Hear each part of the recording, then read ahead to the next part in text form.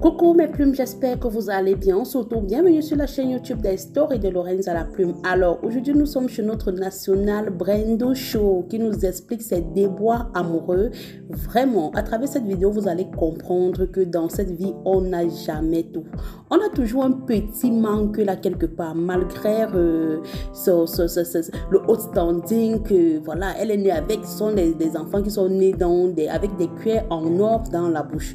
Donc, malgré cela, Brenda nous parle à cœur ouvert dans cette nouvelle vidéo que elle se fait plaquer, mes plumes. Carrément, elle se fait plaquer et, par son, son critère d'homme. Un homme grand, baraqué et tout et tout. Elle saute du lit à 4 h du matin pour aller à sa rencontre. Arrivé là-bas, ça ne se passe pas du tout bien. On comprend euh, simplement que le gourmand, la maman, c'est pas seulement affaire de pauvres, c'est affaire de tout le monde, maman. Là, j'achève seulement tuer notre de ça, c'est la magie. Hmm? On dit que ne croyez pas que non, ce n'est que vous qui avez des problèmes. C'est de niveau en niveau. Gourmand, là, il n'y a pas qu'on dit qu'il y a affaire de riches ou affaire de grands sur ça. Ça touche tout le monde. Tu sens ça que dans ton cœur. Donc, Jacques, quand le gourmand te prend, non, tu peux repasser 10 cuvettes d'habits avant de te rendre compte que le fer là ne t'est même pas branché. Tu vois n'importe qui, tu veux seulement expliquer. Tu vois même bébé de 2 ans, tu veux seulement lui expliquer. Maman, c'est seulement le temps qui résout le genre de problème là. en tout cas, mes plumes, je vais faire être très longue.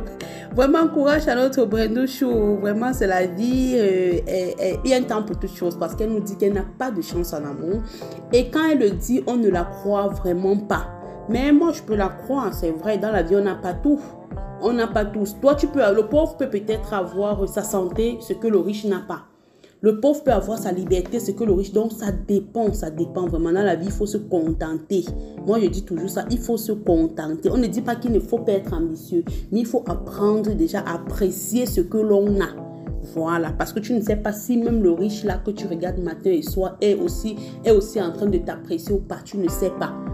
Donc, mes plumes, je vous laisse le soin et l'honneur d'écouter notre Brendo national. S'il vous plaît, n'oubliez pas de me laisser votre avis en commentaire, de partager, de liker, surtout abonnez-vous pour ne pas louper mes prochaines publications. C'était Lorenza la plume. Bye bye. Story time. Là, alors vous allez être servi pour mon story time. Parce que quand je vous dis que je n'ai pas de chance en amour et que je n'ai pas de chance avec les mecs ici dehors, on ne va pas me croire c'est la vérité, hein, moi je vous jure. Donc là, vous voyez là, il est 4h58 et je viens de rentrer de mon escapade de nuit. Pour ceux qui me follow sur Snapchat, j'ai posté, je sais pas, à 4h que je sortais et tout. Et donc en fait, c'est parce que j'allais voir un mec que j'ai rencontré sur Bumble en fait. Donc le mec, je match avec lui aujourd'hui.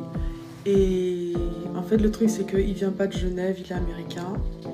Et il avait mis sur son profil qu'il est là pendant une semaine et il va repartir. Du coup, quand je match avec lui, j'essaie de faire la conversation, je dis jolie photo et tout. Il me dit Je quitte Genève dans quelques heures, viens me rejoindre. Je, suis d'abord genre. Après, j'ai dit Ok, vas-y, je viens. Euh, tu pars à quelle heure? Il me dit Je pars à 5 heures. Je dis 5 heures du matin. Il dit Oui. Moi, j'étais déjà dans mon lit que je, je savais que j'allais roupiller d'un moment à l'autre. Et j'étais genre Ok, il fait 1m92, il est plutôt pas mal, plutôt beau gosse. Euh, il a l'air d'être bonne vibes et tout. Et en plus, j'étais dans mon lit, j'avais trop rien à faire et j'étais d'humeur spontanée, on va dire ça comme ça. Tout le monde sait que je prends énormément de temps à me préparer. Ça. Mais bon, vu qu'il voyageait, mais bon, vu qu'il allait voyager super tôt le matin pour, euh, bah, pour rentrer, je sais pas aux États-Unis, je me suis dit, vas-y, je vais me préparer rapidement. Et quand je vous dis, je vous jure, je me suis préparée à la vitesse de la lumière. Je me suis jamais préparée aussi rapidement, voilà. Bon. Je me suis douchée, je me suis maquillée, je me suis habillée, puis réhabillée parce que j'aimais pas ce que je portais.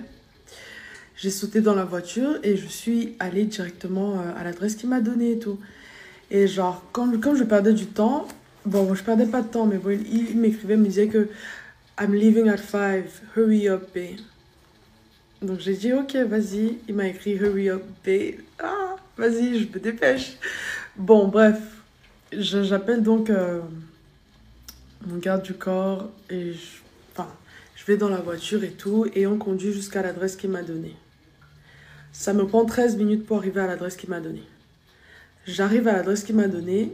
Il me dit on va chiller dans ma voiture. On va chiller dans ma voiture à moi. Parce que lui, il est dans, il est avec, euh, il est dans son, la voiture avec son chauffeur. Il veut pas que son chauffeur s'énerve. Moi, j'étais genre ok. On peut chiller dans ma voiture, il n'y a pas de problème. Mais je lui dis, il y a juste, euh, bah, le chauffeur dans la voiture et j'ai quelqu'un d'autre avec moi dans la voiture. Après, il me dit too late. Il me texte too late, genre trop tard. Je lui dis trop tard quoi? Genre trop tard, tu pars? Il dit oui, il va à l'aéroport. À part si tu me suis jusqu'à l'aéroport. J'ai une tête à suivre les gens partout où ils vont, genre comme une stalkeuse jusqu'à l'aéroport. Genre, je veux pas être arrogante, mais genre, frère, je me suis bougée, je t'ai suivi. 13 minutes après, genre j'ai fait tellement d'efforts et tu veux que je te suive jusqu'à l'aéroport.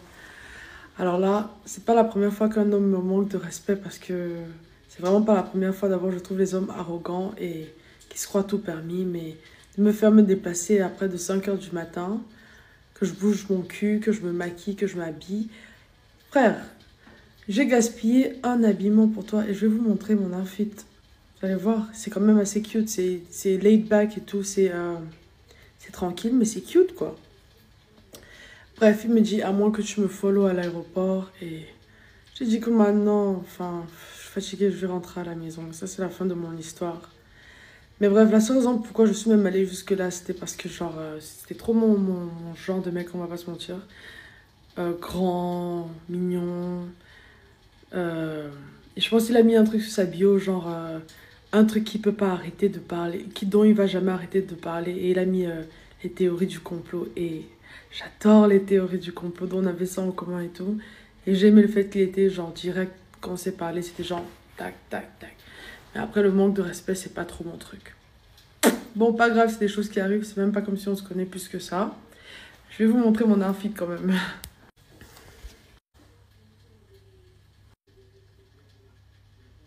J'ai mon petit sweat assorti en bas. Ouais, je sais pas bien d'être poisseuse dans la vie, hein, moi je vous dis.